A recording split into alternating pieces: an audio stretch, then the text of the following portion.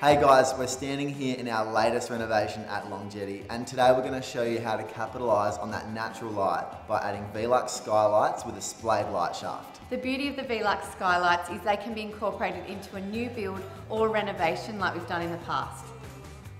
In this particular renovation, we've basically started from scratch. So we've designed the void to be directly over the kitchen, but these skylights can be added into any existing roofline, renovation or new build.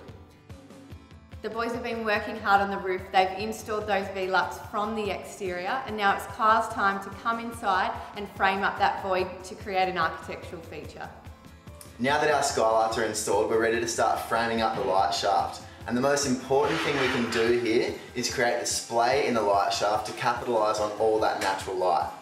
Because we're using the back of the rebate in the skylight to make sure that that's our starting point, we're using a spirit level to ensure that we are plumb when we're setting out for our frame. The Velux skylights are designed with this rebate and that allows the gyprock to tuck right up in there, creating a perfect finish.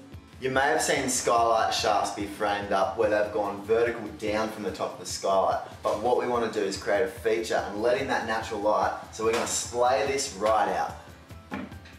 To establish our starting point for our splay, we're doing the same process as what we did at the bottom of the skylight. We want to use the back of the rebate as our starting point, so we're making sure our angle flows into that. You can really notice how the splay in this light shaft is starting to take shape and it really does make this whole light well feel so much more open and it's going to be a beautiful feature once it's finished. Now that we're all framed up on this light shaft, the display looks amazing. It's time for the gyprockers to come in and do their thing.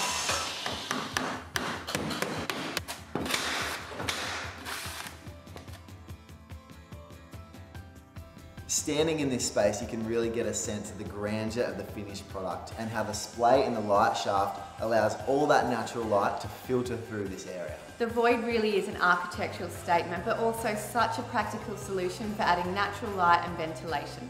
So have a think about how you can capitalise on natural light in your home.